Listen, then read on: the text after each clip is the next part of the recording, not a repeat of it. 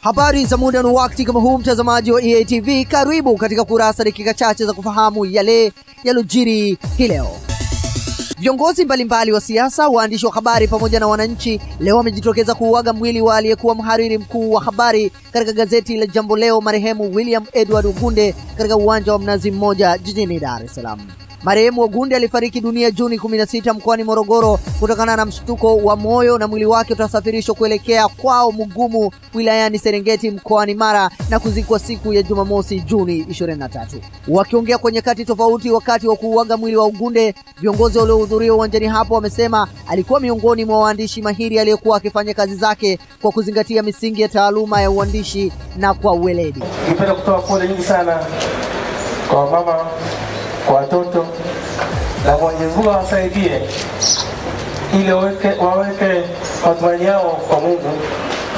Mwenyezi Mungu yoyote ambaye anaamua uje dini hapa duniani na uondoke dini hapa duniani, na hatuna uwezo wote, hatuna nguvu yote, hatuna haki yote ya kupinga mapenzi ya Mwenyezi Mungu.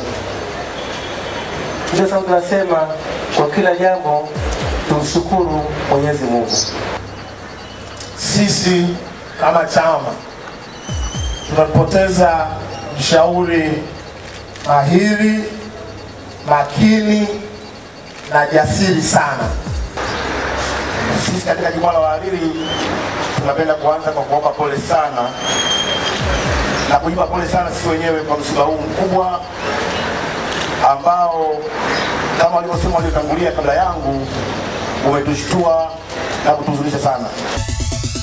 Tuendelee na kurasa. Tanzania leo inaungana na mataifa mengine ulimwenguni katika kuadhimisha siku ya wakimbizi duniani, ambapo kwa mujibu wa shirika la Umoja wa Mataifa linalohudumia wakimbizi duniani la UNHCR, jumla ya wakimbizi wanaotafuta hifadhi nchini Tanzania na wakimbizi wa ndani inapungua. UNHCR inaelekeza ujumbe usemao mmoja bila utaifa ni wengi kama kauli mbiu ya mwaka huu ili kuhakikisha kuwa nchi zote ulimwenguni zinajitahidi kuepukana na sababu zinazopelekea vita na kusababisha ukimbizi. Idadi ya wakimbizi hasa barani Afrika inaongezeka.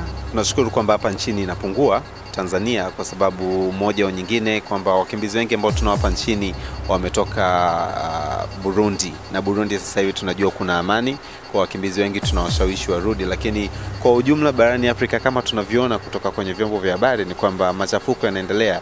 Kongo amefanya uchaguzi uh, inaenda mwaka wa pili sasa takriban, na bado hali ya amani haijarudi. Uh, uh, tukienda Sudan hapo sio mbali sana. Sudan kuna, ucha, kuna machafuko. Ukienda Ethiopia kuna vurugu. Kwa hiyo hali ya wakimbizi bado, hali ya amani bado ni tete, na hivyo inasababisha kuongezeka kwa wimbi la wakimbizi barani Afrika. Tumalizie kurasa kwa hili. Maonyesho ya 36 ya biashara ya kimataifa nchini Tanzania julikanayo kama maonyesho Sabasaba yanatarajiwa kuanza tarehe 28 Juni hadi Julai 8 ambapo ufunguzi rasmi utafanyika tarehe moja Julai. Nchi zipatazo kumi na moja zimethibitisha ushiriki wao huku China na Rwanda zikionyesha wito mkubwa kwa kuleta washiriki wengi. Akiongea leo jijini Dar es Salaam, mkurugenzi mkuu wa maonyesho ya kimataifa ya biashara ya jijini Dar es Salaam, Samuel Mvingira, amesema kuwa wamehakikisha kuwa maandalizi yanatosheleza ili kuepusha usumbufu unaoendelea mara nyingi wakati wa maonyesho. Tumekufungulia na kukufungia kurasa kwa hayo machache kati ya mengi yaliyofika mezani kwetu kwa leo. Kesho je, kuna ni? Tafadhali usikose kuangalia dakika chache za kurasa. Kwa niaba ya wote walioshiriki kuletea kurasa, mimi ni Noah Laltaika. Wakati mwema.